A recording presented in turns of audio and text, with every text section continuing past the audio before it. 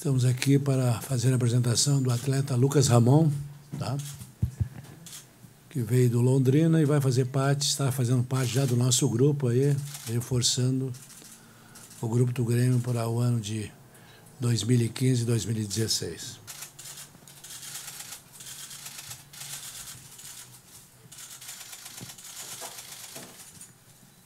Agradecer primeiramente a, a diretoria e todos os companheiros que me receberam muito bem.